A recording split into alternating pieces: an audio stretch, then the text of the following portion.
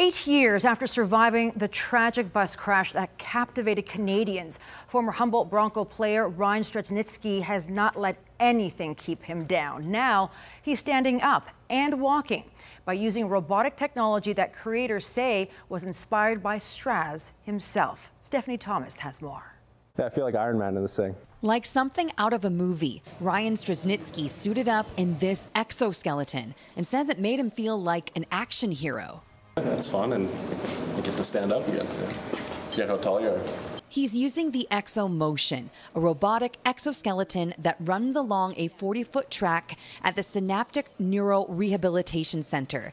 It's the only one of its kind in the world to be used in a clinical setting. It's, it's incredible to do anything like hands free, uh, getting to hold a hockey stick, throw a football, uh, brought back a lot of memories and made me really hopeful for the future to see where this exoskeleton can go.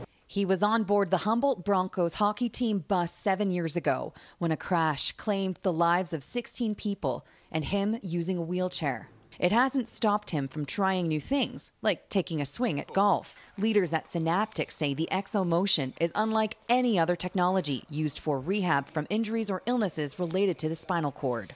The amount of standing, stepping, and walking that we're able to actually implement into practice will really help wire that neuroplastic change for, for us to give them the opportunity to look at, you know, independence. The nonprofit purchased the XoMotion for $400,000 Canadian from a Vancouver based tech company. Founders say Straschnitzki was their inspiration. 2018, Ryan probably didn't think about us, but from the beginning, we were thinking about him. We wanted to actually use this device, helping him to walk again. There's optimism for how adaptive technologies like this can help others. Maybe one day they'll have a, a smaller version uh, that you can take to the grocery store, right? I mean, the, the possibilities are endless. Stephanie Thomas, CTV News, Calgary.